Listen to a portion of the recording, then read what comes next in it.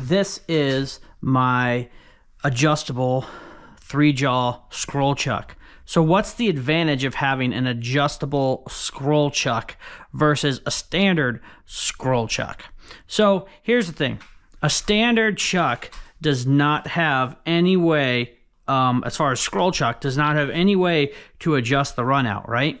When you tighten these, there is a spiral gear that these teeth ride in, and they all come together at the same time, right? So whatever run out you end up with, you just have. Um, now, typically, um, which if you're just going to machine a face and put a hole in it, that's fine because you don't have to flip it over and then, you know, interface with the same part and maintain concentricity. So, most of the time, if you want to solve that, you just get a four uh, jaw chuck, and then each one of these get tightened individually, and you can dial in the run out of the part. But that takes a lot of time, right? So, what if you didn't have to? Well, that's where this guy comes in. So, um, on the other side here, uh, there are set screws in here that allow this whole chuck, the run out, to be adjusted the same way a independent chuck is adjusted. So basically, you loosen up these uh, bolts that hold it down and you adjust these set screws and that allows you to adjust the run out to zero.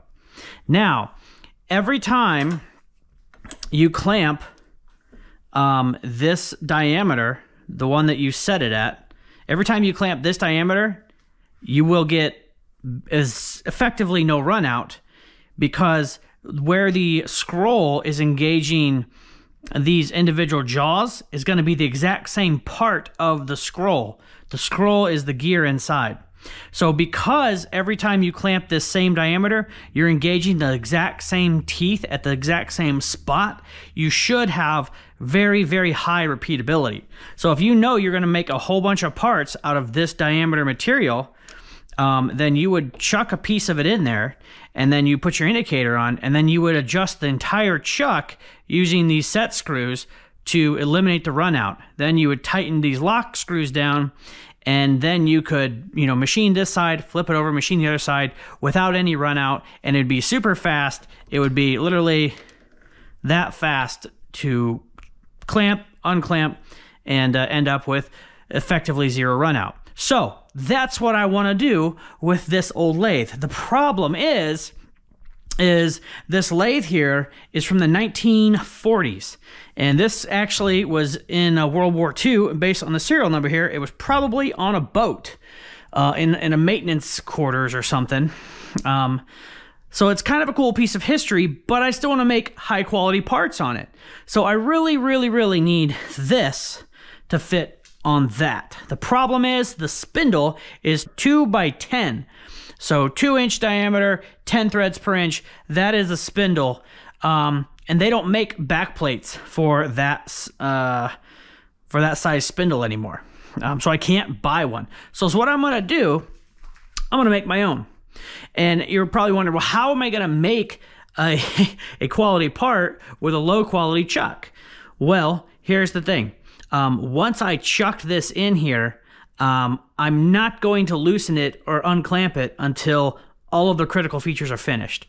So I bored this um, right here to the desired diameter, and then I'm going to cut the threads in it, the 10 threads per inch, and then I'm going to machine out a little spot to exactly um, two inches.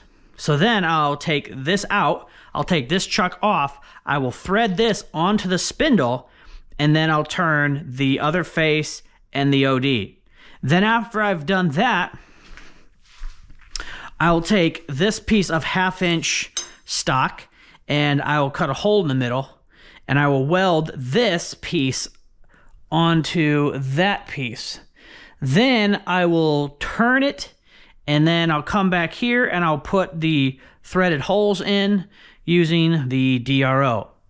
And then after that, I will have a custom made backplate for this to fit on that. So I'm really excited. Now, this is a lot of work.